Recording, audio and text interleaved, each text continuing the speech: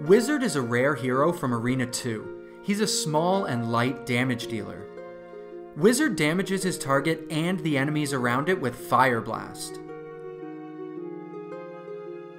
Fire Blast damage depends on enemies' current health, so it's the most effective against enemies with a lot of remaining health.